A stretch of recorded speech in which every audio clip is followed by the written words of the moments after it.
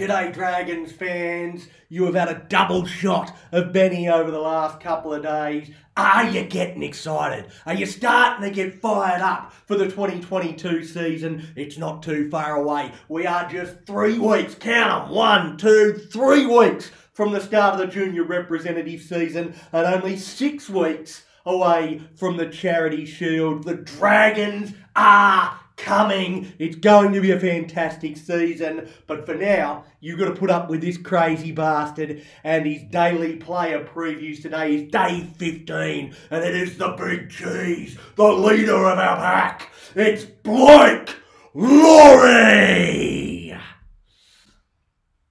Now, there are two camps when it comes to Blocker. You're either a big fan of the way he goes about his footy, and he's one of your favourite players or you think he's fat, unfit, and nowhere near NRL standard. There doesn't seem to be a lot of middle ground. For the record, I'm the former. I love Blocker as a player. And the answer to why I love him, it doesn't lie in his stats. Although with 109 metres per game and 32 tackles per game, his stats aren't bad but it's his aggression that I love.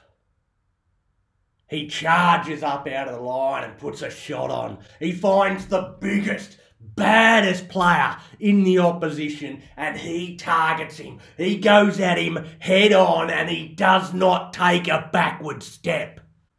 I love some of the personal battles he gets into.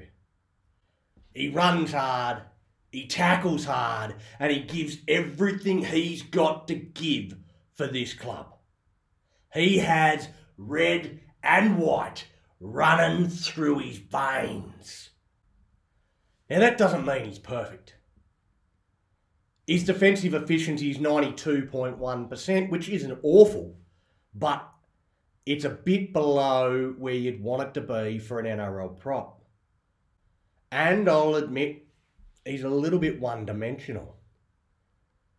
In a bygone era, he may have been in a national quality, but I'm not sure a straight up and down prop with limited footwork, almost no offloading ability, and barely basic ball playing talent can cut it long term in today's NRL. Plus, you add in four penalties and 13 set restarts against him, along with a couple of errors he puts us under pressure pretty much once every single game.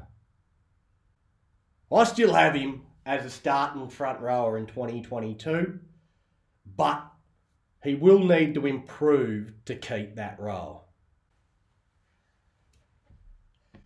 Now, I know there will be a lot of differing opinions amongst the Dragons faithful when it comes to Blake Lawrie. Maybe you've got him in the starting lineup the same as I do. Maybe you've got him coming off the bench, or maybe you've got him left right out playing in reserve grade. You've heard what I've had to say. Now you've got to jump down in the comments, get involved. Let us know where you see Blake Lawrie playing for the Dragons in 2022. Where's he going to be in round one? What numbers he going to line up in?